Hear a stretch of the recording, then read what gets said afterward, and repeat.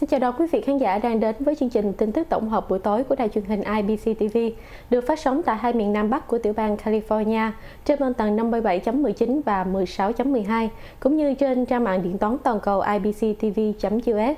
Kính thưa quý vị, chương trình ngày hôm nay được thực hiện bởi sứ ngôn viên Tuyết Nha và Hà Anh. Xin được gửi lời chào trân trọng nhất. Như thường lệ, sau đây chúng tôi xin mời quý khán giả cùng điểm lược sơ qua một số những bản tin chính trong ngày. Thủ tướng của nước Úc bổ nhiệm số lượng phụ nữ kỷ lục vào nội các.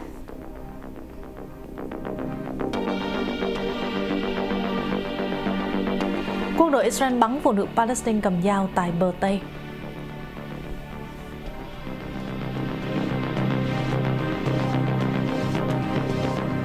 Bão Agatha quần đảo gần bang của Osaka của Mexico.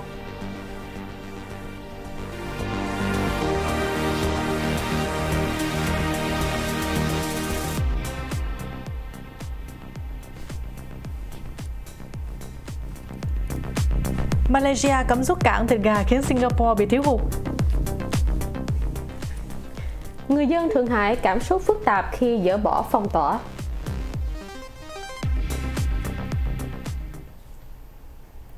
Sau đây chúng tôi sẽ mời quý khán giả cùng đến với bản tin chi tiết đầu tiên đến từ Australia qua phần trình bày của sư ngôn viên Hà Anh. Thưa quý vị, Thủ tướng của nước Úc đã bổ nhiệm số lượng phụ nữ kỷ lục vào nội các Bộ Liên bang mới của nước Úc đã tuyên thệ nhậm chức vào hôm thứ Năm với việc Thủ tướng Anthony Albanese bổ nhiệm một số lượng phụ nữ kỷ lục vào một nhóm nội các đa dạng, bao gồm các tôn giáo thiểu số và người Úc bản địa. Tổng cộng có 10 phụ nữ đã được đưa vào nội các, 23 thành viên của ông Albanese vượt qua 7 người trong chính phủ liên minh tự do quốc gia trước đó do ông Scott Morrison lãnh đạo. Theo thông báo của Thủ tướng của nước Úc, bà Penny Wong sẽ là lãnh đạo Thượng viện và Ngoại trưởng của nước Úc, trong khi Thượng nghị sĩ Cathy Gallagher trở thành Bộ trưởng Tài chính, Bộ trưởng Dịch vụ Công và Bộ trưởng Phụ nữ. Bà Claire O'Neill được giao giữ cương vị Bộ trưởng Nội vụ và An ninh mạng. Tuần trước thì lãnh đạo công đảng Anthony Albanese đã tuyên thệ nhậm chức thủ tướng thứ 31 của nước Úc và lập tức bổ nhiệm bộ trưởng bốn bộ là Bộ Ngoại giao, Bộ Ngân khố, Bộ Tài chính và Bộ Việc làm trước khi lên đường công du đến Nhật Bản để tham dự hội nghị thượng đỉnh nhóm Bộ Tứ. Quân đội Israel đã bắn một phụ nữ Palestine cầm dao ở bờ Tây. Theo quân đội cho biết, phụ nữ Palestine cầm dao đe dọa binh sĩ Israel tại bờ Tây bị chiếm đóng và bị bắn vào thứ Tư. Và bệnh viện địa phương thông báo cô đã tử vong vì vết thương quá nặng. Quân đội Israel đã nói trong một tuyên bố kẻ tấn công được trang bị con dao tiến về phía một người lính lực lượng phòng vệ Israel và những người lính đã đáp trả bằng đạn thật. Một bệnh viện ở thành phố Hebron của Palestine gần đó xác nhận cái chết của người phụ nữ này. Câu lạc bộ tù nhân Palestine đã nói người phụ nữ 31 tuổi bị giết gần với ngôi làng Al-Arab đã bị Israel bỏ tù một thời gian ngắn vào đầu năm nay.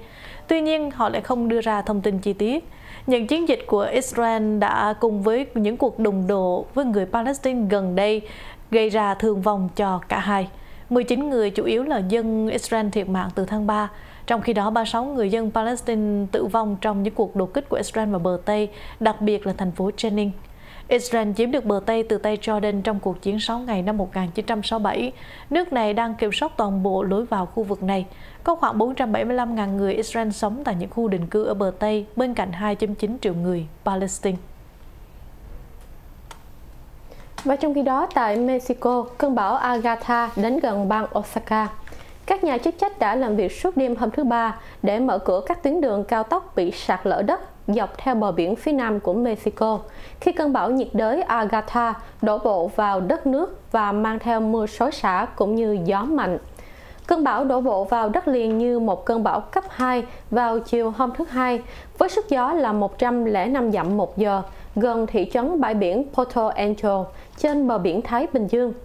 Theo Trung tâm Bão Quốc gia Hoa Kỳ đến tối ngày thứ Hai, cơn bão Agatha suy yếu thành bão nhiệt đới và dự kiến sẽ tan thêm vào tối thứ Ba. Tuy nhiên thì Trung tâm Báo bão đã duy trì cảnh báo về lũ quét và lỡ bùn đe dọa tính mạng ở bang Osaka. Chính quyền địa phương cũng cho biết mưa đã khiến cho bùn và đá trượt vào hai đường cao tốc ở Osaka, chặn lối vào ít nhất một khu vực của bang. Bộ Giao thông của Mexico đã làm việc để thông đường vào tối ngày thứ Hai. Các nhà chức trách cũng cho biết một số thị trấn tại Osaka không có điện và một máy biến áp đã phát nổ. Các đường dây điện thoại đã bị ngắt vào hôm thứ Hai, buộc các nhà chức trách phải liên lạc bằng radio. Trung tâm Dự báo bão cũng cho biết, cơn bão Agatha dự kiến sẽ đổ một lượng mưa từ 10 cho đến 16 inch từ Osaka, với những trận cơn mưa như chút nước ở các bang lân cận như là Chiapas, Veracruz, Tabasco và đông của Guerrero. Trong khi đó, bản tin từ Malaysia, nước này cấm xuất cảng thịt gà khiến Singapore bị thiếu hụt. Phát biểu với Reuters trước khi lệnh cấm xuất cảng thịt gà của Malaysia có hiệu lực từ ngày 1 tháng 6, người chăn nuôi gà Adolas Kafli đã bày tỏ lo lắng. Tuần trước, họ cho biết sẽ tạm dừng tất cả xuất cảng thịt gà từ tháng 6 cho tới khi sản lượng và chi phí ổn định trong bối cảnh giá thức ăn cho gà đã tăng lên. Thức ăn cho gà thường được làm từ ngũ cốc và đầu nành và thường là nhập cảnh nhập cảng tại Malaysia. Thế nhưng sự xâm lược của Nga tiến hành tại Ukraine và các kiểu thời tiết bất ổn tạo ra sự thiếu hụt toàn cầu. Chính vì sự thiếu hụt này ảnh hưởng tới tốc độ tăng trưởng của gà tại các trang trại như là của CIO, từ đó hạn chế nguồn cung cấp. Trước đây, trang trại của anh có thể cho thu hoạch gấp 7 lần với 45.000 con gia cầm được thu hoạch mỗi chu kỳ. Năm nay, anh chỉ mong 5 vụ thu hoạch mà thôi. Anh cho biết lệnh cấm xuất cảng khiến cho mọi thứ tồi tệ hơn đối với những người chăn nuôi gia cầm. Theo cơ quan lương thực Singapore, nước này nhập 34% nguồn cung cấp thịt gà là từ Malaysia. Trên đảo quốc này, những chủ quán cơm đang lo lắng về khả năng tình hình xoay chuyển nhanh chóng hay duy trì hoạt động kinh doanh của họ. Daniel Tan, chủ sở hữu bảy quầy hàng cho biết lệnh cấm là thảm khốc và ảnh hưởng tới sản xuất món ăn. Ông đã nói những nhà xuất cảng đã làm việc để đưa thêm nguồn cung cấp vào trước khi có lệnh cấm. Họ có thể dựa vào nguồn gà ướp lạnh trong khoảng chừng nửa tháng. Người dân của Thượng Hải đã cảm xúc phức tạp khi dỡ bỏ lệnh phong tỏa. Sau hai tháng giận dữ, tuyệt vọng và tổn thất về kinh tế, vụ phong tỏa COVID-19 hà khắc của Thượng Hải đã được kết thúc vào nửa đêm sáng thứ Tư, tức là ngày 1 tháng 6. Vào lúc nửa đêm thì các nhóm nhỏ tụ tập tại khu tô giới Pháp cũ của thành phố đã hít sáo và hét lên lệnh cấm được dỡ bỏ và cũng đi xăm banh cùng với nhau. Các cửa hàng dọc theo con phố đã và đang chuẩn bị mở cửa trở lại. Nhân viên được nhìn thấy đang khử trùng và sắp xếp hàng tồn kho vào lúc nửa đêm trong một cửa hàng điểm sắm. Việc đóng cửa kéo dài 2 tháng đã khiến cho nhiều công nhân nhập cư ở Thượng Hải bị mắc kẹt, những người không thể trở về quê hương hoặc là bảo đảm nguồn thu nhập của họ tại Thượng Hải. Một người dân họ Don đã cho biết khi nhìn thấy 5 công nhân nhập cư chụp ảnh tấm biển quảng cáo khổng lồ ghi khẩu hiệu chống đại dịch trong khi quay video gọi điện về cho gia đình họ ở Suyahui, một trong những khu vực khu thương mại sầm uất nhất của Thượng Hải, và cô đã có cảm xúc lẫn lộn. Nó thật sự phức tạp. Cô đã nói khi cầm một chai bia, kỷ niệm với người bạn mà cô đã không gặp trong hai tháng.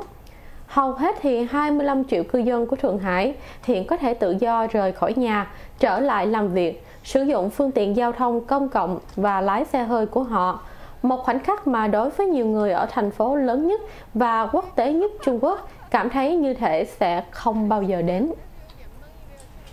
Thưa quý khán giả, như thường lệ sau đây chúng tôi xin mời quý vị ủng hộ cho những cơ sở kinh doanh thương mại đã đồng hành và bảo trợ cho đài IBC. Kế đến đó, Hà Anh và Tuyết Nha sẽ quay trở lại tường trình đến quý vị những bản tin liên quan tới chủ cửa hàng súng không hài lòng với việc Canada đóng bằng súng ngắn như thế nào. Hay chúng ta tới với à, người diễn tập trước thềm đài lễ bạch kim của nữ hoàng Elizabeth tại Anh ra sao? Trung Quốc để chỉ trích Nhật Bản ích kỷ về vấn đề gì? Và Apple lần đầu tiên chuyển sản xuất iPad từ Trung Quốc sang Việt Nam. Việt Nam chế tạo vaccine dịch tả lợn châu Phi đầu tiên trên thế giới trong khi đó thì Nhật Bản lại phát minh ra robot để vận chuyển hàng hóa nặng. Xin mời quý khán giả đón xem trên đài IBC.